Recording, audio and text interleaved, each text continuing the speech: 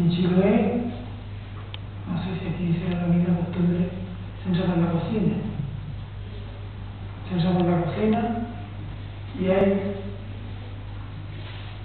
y, y al, visitante se le recibe la chaqueta o parca o poncha y se cuelga cerca de la cocina de la estufa para que se seque. Entonces tiene haber acostumbrado a despedir la, la parca. Tomé las parcas, las colgué y me di cuenta que estaban secas. Y, el invierno en Chiloé y bueno, que ha estado allá sabe lo que se demora en llegar del camino acá, más de un chaparrón, un chubaco que tiene que haber llegado. El lago están absolutamente secas.